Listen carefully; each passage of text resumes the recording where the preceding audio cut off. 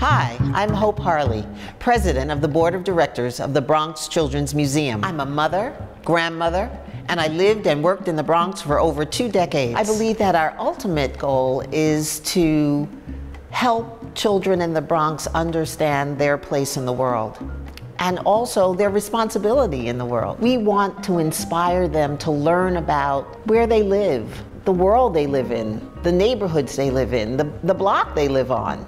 We want to make certain that they know that they have a place in this world, that they have a responsibility to take care of where they live. I'm Carla Precht, and I'm the proud executive director of the Bronx Children's Museum. Unlike most museums, we decided to start our museum by actually learning about our community and creating programs. For six years, I've been working with a very large network of people many community members from the Bronx, environmentalists, educators, artists, children themselves, and people who care about the Bronx in understanding not only what the Bronx needs and wants in a children's museum, but what makes people inspired. At this point, we have eight programs and we see 12,000 people a year. Our programs are all over the Bronx. Hi, we're from the Bronx Children's Museum, and we'd like to welcome you to Rivers on the Go. Our Rivers on the Go program is in our bus.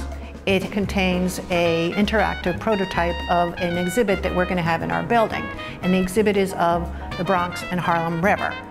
That bus goes to about um, 25 sites every single year and 25 festivals where we bring not only the exhibit, but also arts activities related to learning about the rivers in the Bronx and specifically the habitats of the Bronx and the different ways in which you can actually access the rivers. In the case of our Green Arts program, which is an after-school program in Morrisania, the principal came to us with a need. He told us that it was really hard for the children in the Morrisania area to actually access healthy foods and that it wasn't always clear to a child what actually is a healthful food. So we came up with a way in which we could teach children about healthful living and healthful foods by using the arts.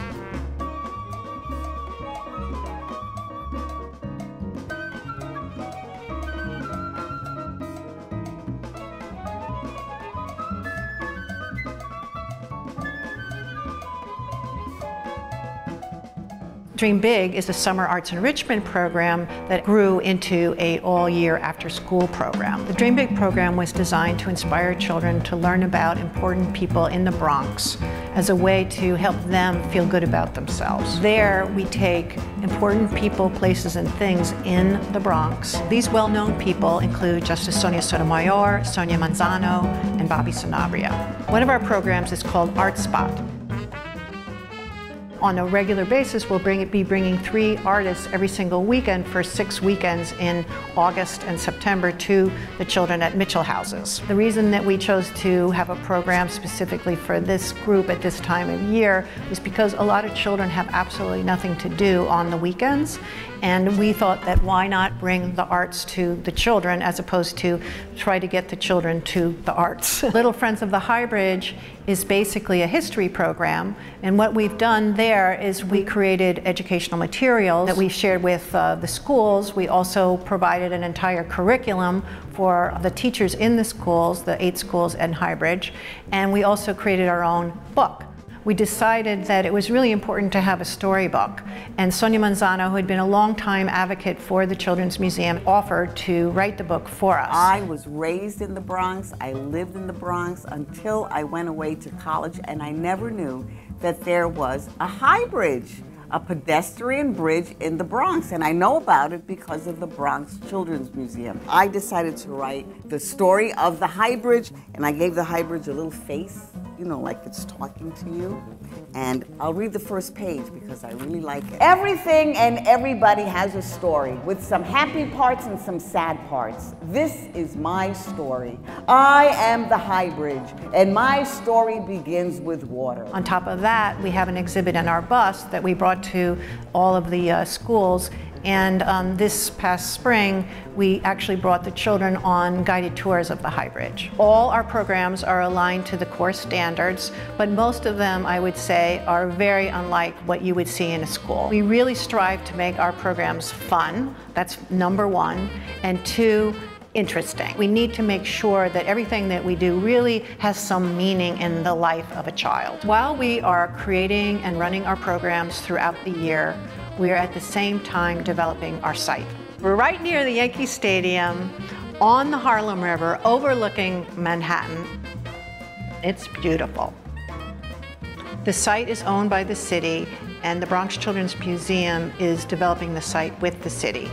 The building is slated to open in 2017. We're working with the architects to make sure that the space is free-flowing, uh, made of only natural materials, and allows the visitor to feel not only that they are in the midst of something beautiful, but that they want to move on through the space. From the moment that a child enters our lobby, we want them to feel like this is their place. They'll enter into this beautiful space that won't look or feel like any place that they've ever been before.